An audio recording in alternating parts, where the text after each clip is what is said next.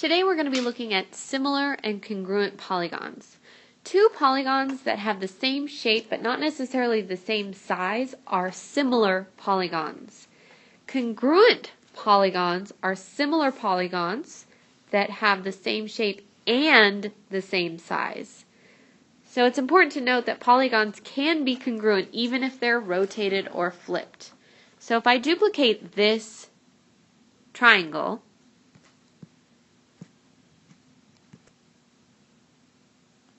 I have two congruent triangles. Now if I enlarge it or make it smaller, they are congruent as long as the scale is the same. They are similar. So when it's the same exact size and the same shape and all of the dimensions and ratios are the same, the angles need to be the same, they're congruent. If I scale it down, or enlarge it, meaning make it bigger, then it's now similar to the original.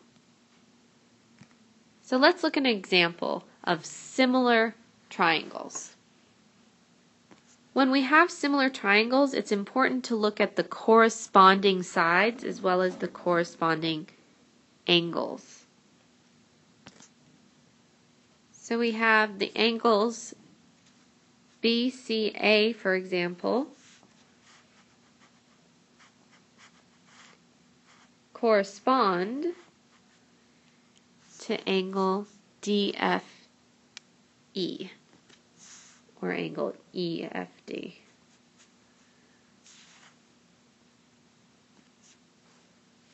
Angle ABC corresponds to angle DEF and angle BAC corresponds to angle EDF. We can see that these two triangles are similar.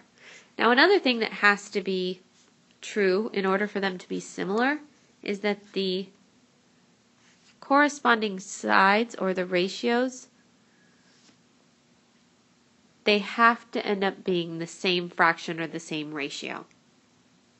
So for example, if I were to label each of these, let's say this side was 6, this was 18,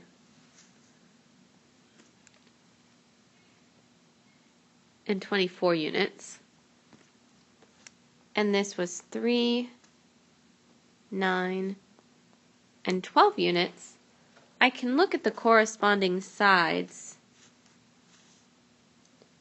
to see if when I compare them, and really you only need to pick two in order to tell, but we can actually compare all three to see if they're congruent as a as a fraction.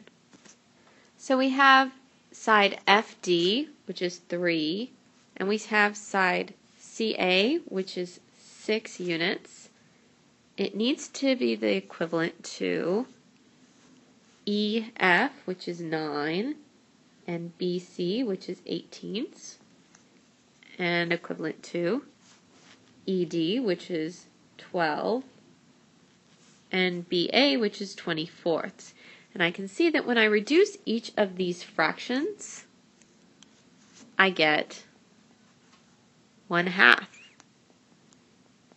each time.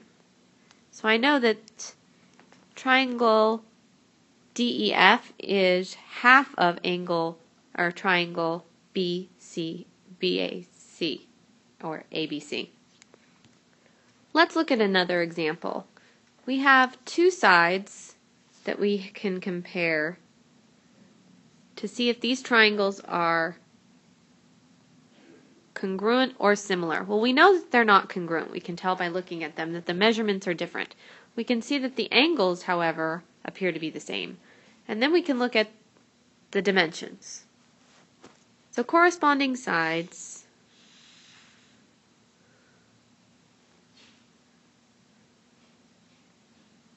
we have AB, which is 10, and we have DE, which is 5.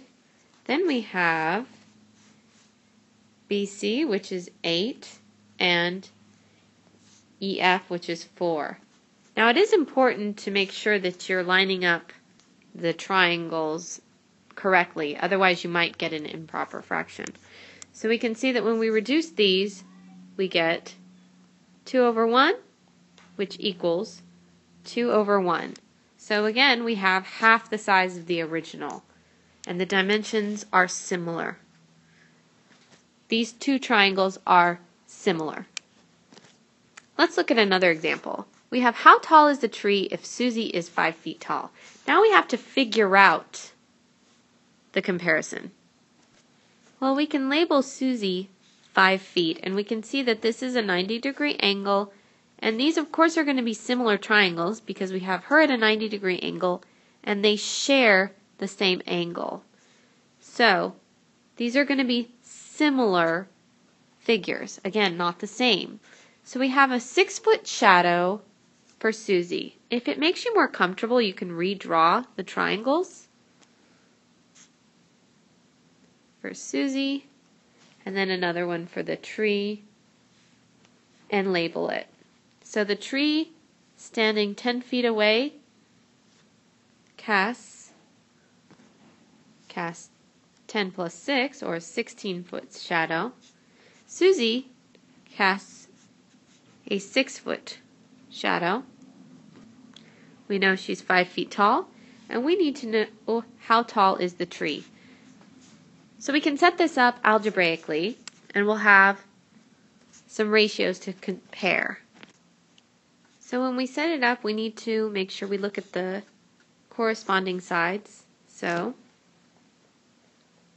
we can start with 6 over 16 and if you want, you can reduce this if it makes you feel more comfortable, equals 5 over x. And again, we need to line up the triangles in order.